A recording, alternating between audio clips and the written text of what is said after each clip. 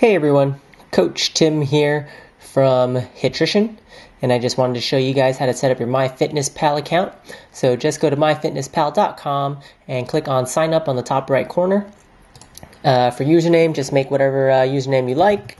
So we'll put Coach Tim one two three um, four five six seven.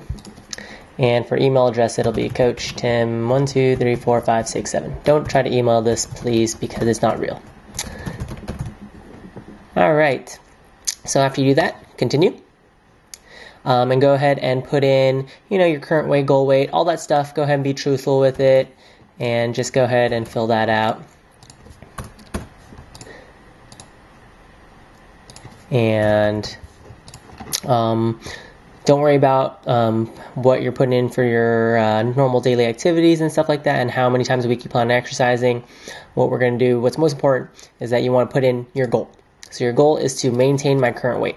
And all we're doing with this is we're trying to make MyFitnessPal be as unobtrusive as possible so that we can use the macros that, Hitri- that HIITrition has given you to um, start recording your macros and calories and get and start reaching your goals. So go ahead and click save and continue. Um, go ahead and skip this part about inviting friends for now. You can do that later if you like. So, as you can see here, has it suggested fitness and nutrition goals. Yeah, don't listen to that stuff. Uh, this one would have me on 274 grams of carbs, 66 grams of fat, and 75 grams of protein per day. And that is just too little for somebody who's working out for protein and way too many carbs and uh, way too many fats actually. So let's go ahead and um, get started now and we're going to adjust those and we're going to set them all to zero so that you can start using your nutrition macro goals. Okay, so what you want to do at the top of the screen in the middle, you want to go to goals and you want to go to change goals so you can change everything to zero. And instead of using the guided, recommended MyFitnessPal goals, we're going to make it custom. Next, what you're going to do is set everything to zero. So that's going to be zero. You don't have to mess with that. It's going to be zero. Go and change saturated fat to zero. Uh, fiber is one thing you want to take care of though, so go ahead and put that at 25 because that's going to be the minimum for most people, if not more. You can set cholesterol at zero, sodium to zero, and potassium to zero, and uh, sugars to zero as well. Go ahead and change your goals. So goals are updated. Next thing you want to do is go to your settings. And in your settings, go to the middle of all those and click on diary settings. In diary settings, we're going to set it to fat first, carb second, proteins third, and fiber fourth, and nothing in the last one. So we're going to keep it simple, take out the things that we don't need to look at, so that we can put in the things that we want to look at that will make a difference, and that is your macronutrients, fats, carbs, and proteins. Fiber is a special consideration for um, for overall health, though.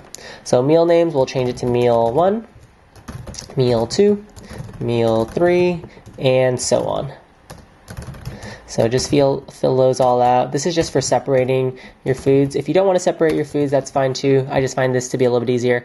Go ahead and set it in public as well, just in case if anybody at HIITrition needs to look at it, or you want to add friends on on uh, MyFitnessPal and have everybody keep you accountable as well. The more accountability, the better. Save changes, and that's that. So go ahead and click on food and here we go. So you can see that everything is set at zero. So I have zero remaining. But what you're going to do is as you look at this page, you're going to start adding foods in one at a time. Foods that you eat, foods that you scan on your barcodes, foods that you weigh and measure. And those are going to add up. So those fats, carbs, and proteins will add up to your totals. So let's say I had to eat um, 50 fats for the day, 200 carbs for the day, and 200 proteins for the day. Go ahead and keep that in the back of your mind. And as you start to get closer to those totals, it's going to help you determine what foods you're going to eat on later in the day as well to fill in those macros and reach your body composition goals. So hopefully that was clear.